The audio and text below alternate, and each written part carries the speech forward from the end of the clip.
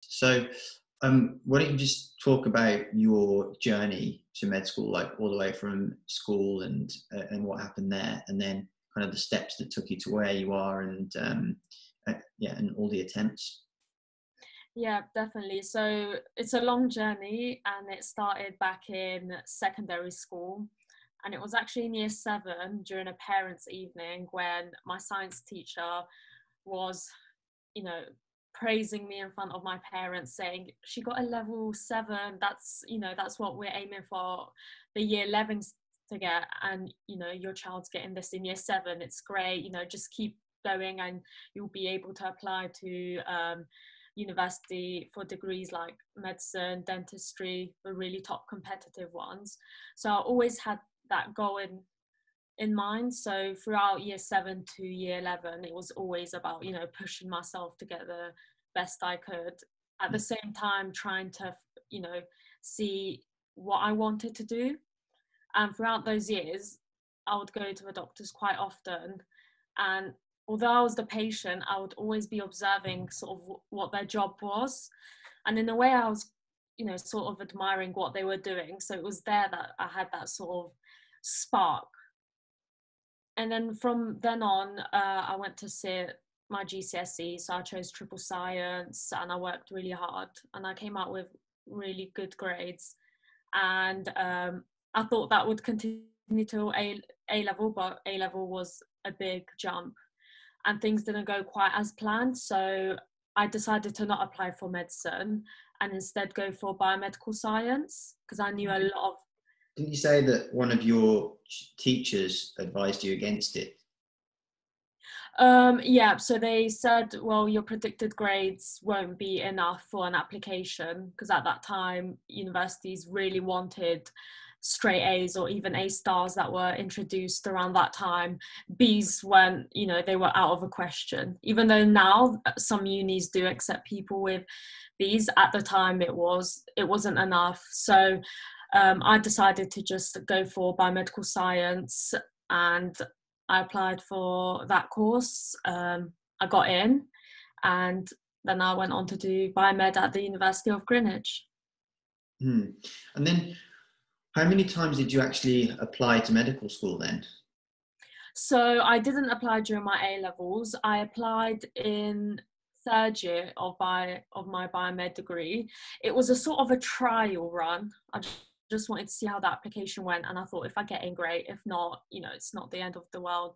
That year was quite intense so i wasn't able to put in 100% in my ucat or application because i had my dissertation and my exams. Um, so i applied then. I didn't get in. I didn't get interviews either. So then i thought okay that's fine. I then got a job in a lab. So i spent a year out working in a lab. Um, I sat the UCAT and I wasn't happy with it, so I didn't apply.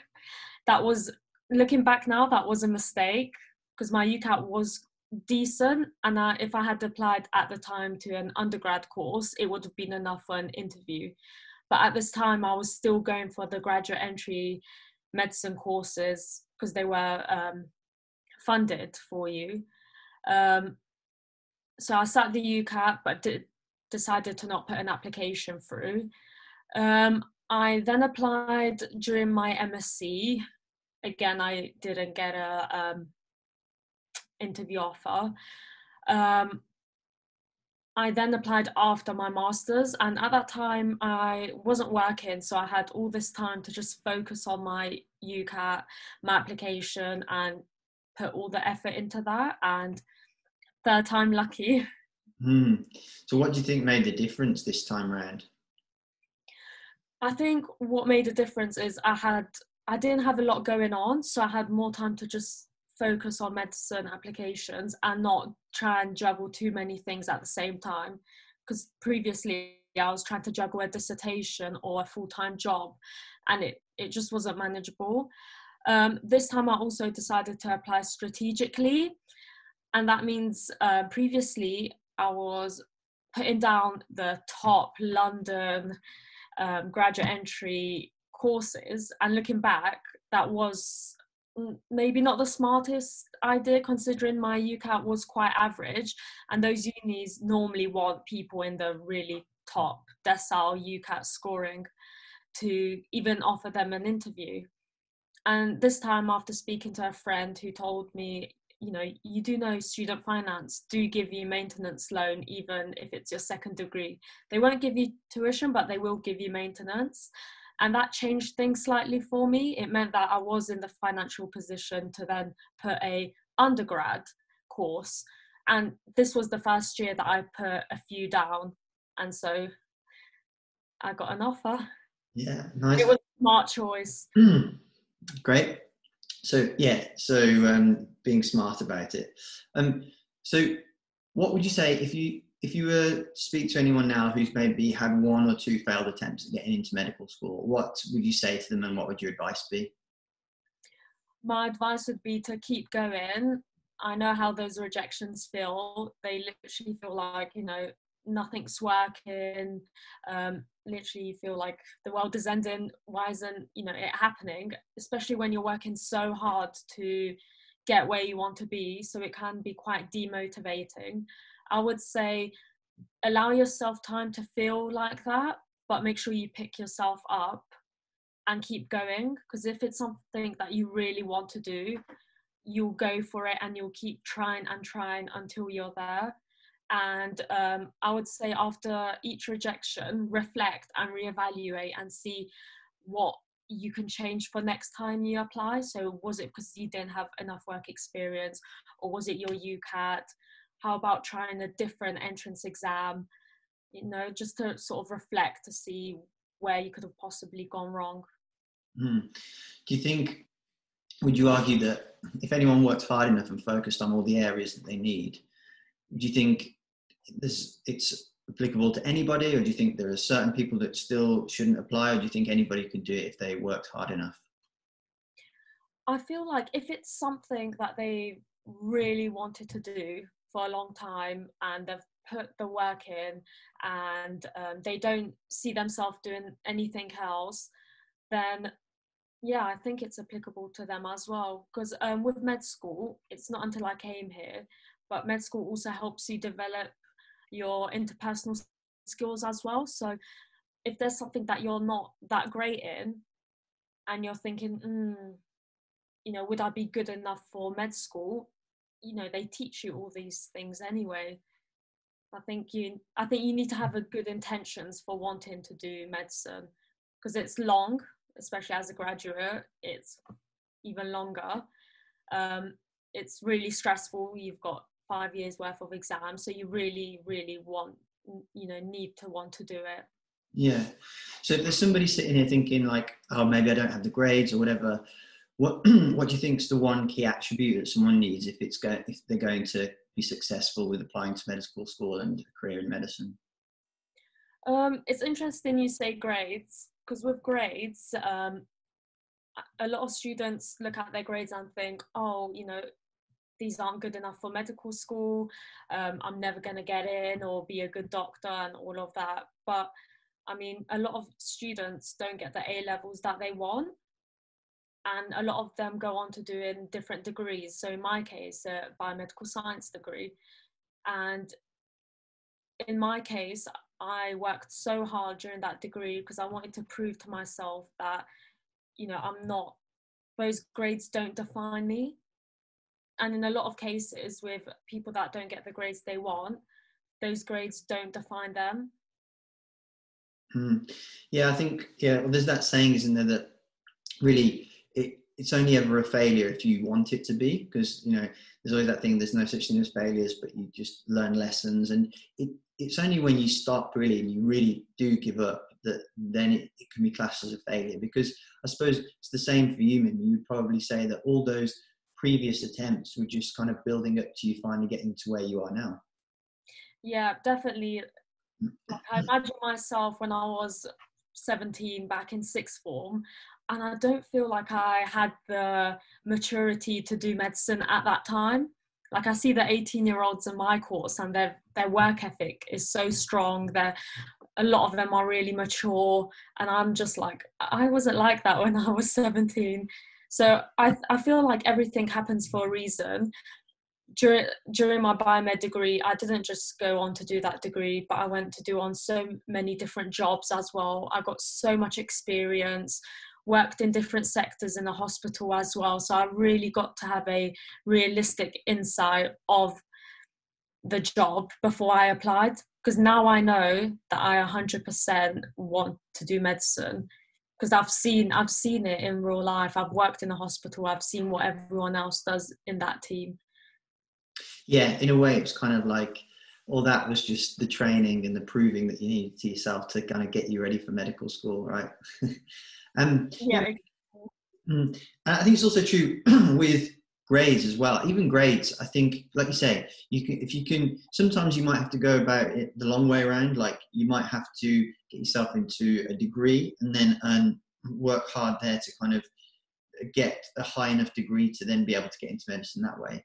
Or like even when people feel they don't have the grades, if they have the ability to get a tutor, sometimes that is all the difference that it makes just to help them understand enough to get those grades. You kind of like any aspect of the application, whether it's your work experience, your extracurricular activities, your your grades, um, and you know even the attributes that you need. These are all things that you can develop, and if you focus on them individually and you know work really hard on your grades, like I say, if you need to get a tutor, do all those things over time, you'll eventually build all the aspects of the application that you need to succeed. And for some people, that might be done you know in their last year of sixth form and and it might come quite easy for them and they're very lucky if it does and then other people takes a, a bit more work.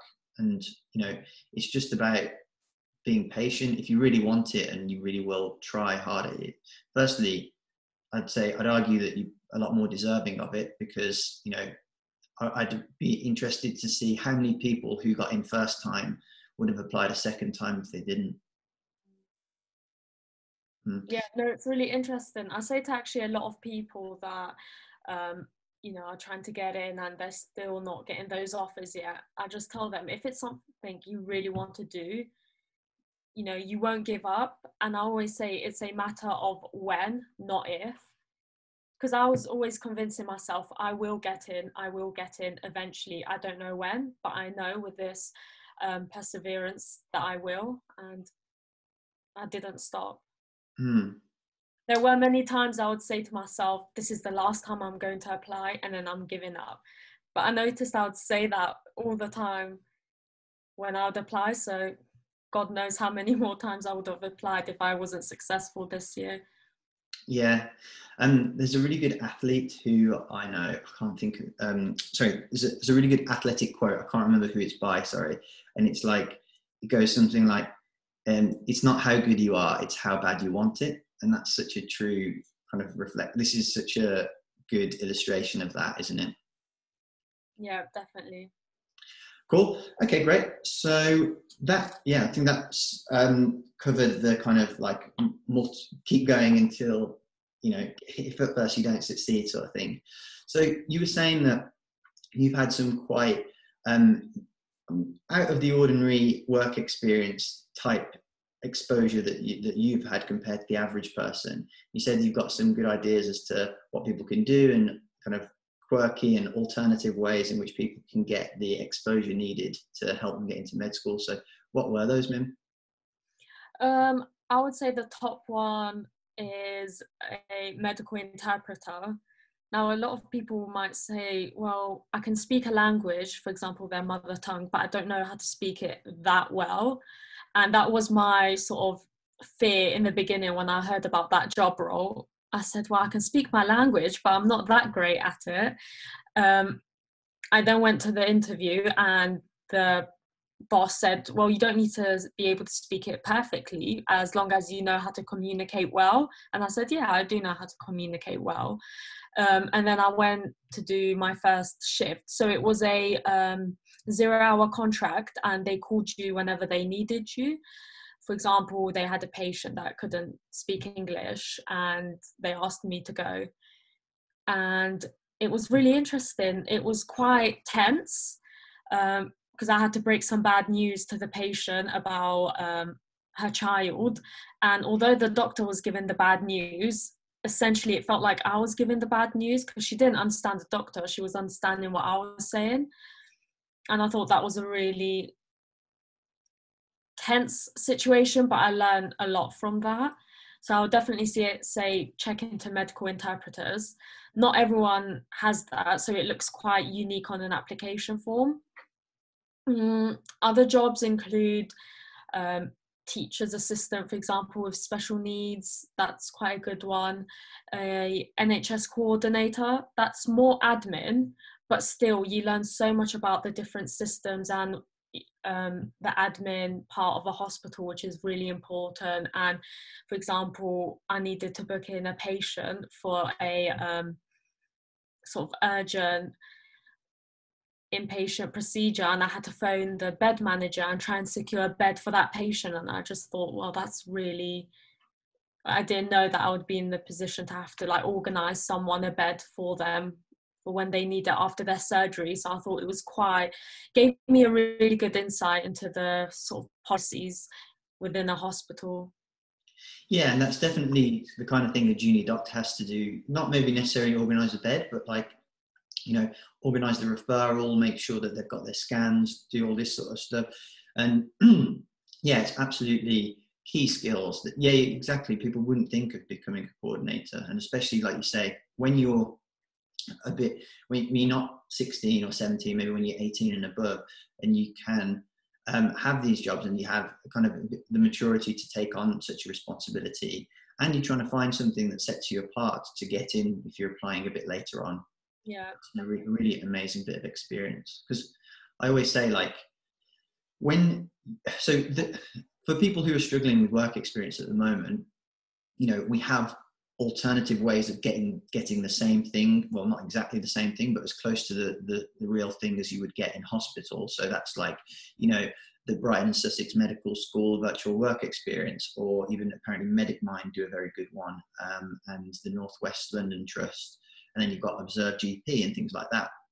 But sometimes it helps to just take a step back and go, well, actually, what is work experience trying to help you achieve? It's helping you get exposure to the NHS, see the upsides, the downsides, and all the realities of being a doctor.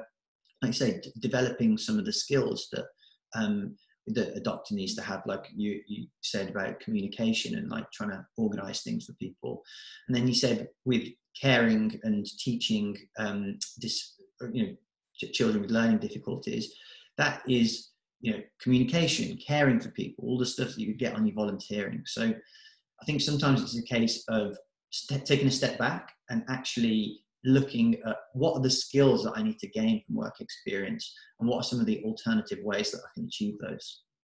Definitely. I would also advise for people that are in sixth form to get involved with um, roles within their school, such as being a peer mentor or being part of a um, leadership role, such as a prefect or a head of house. Because although those aren't linked to NHS, as you said earlier, they show what skills you have and essentially med schools are trying to they don't want to really know what you did they want to know what you learned from it and what skills you've got. So i always say you can show communication skills for example whether you're working as a healthcare assistant in a hospital or whether you're working in mcdonald's. Um, and i'm pretty sure that um, med schools now know especially with the covid situation that it's even harder for students to get work experience. So what you mentioned earlier, the Brighton and Sussex virtual work experience, I had a look at that and I thought that was really good. So I would advise them just get involved with roles in school, um, with opportunities online, and even if they've got a part-time weekend job that they think it's not related to healthcare, it doesn't matter. Put that in your personal statement. Mm. Yeah, fantastic.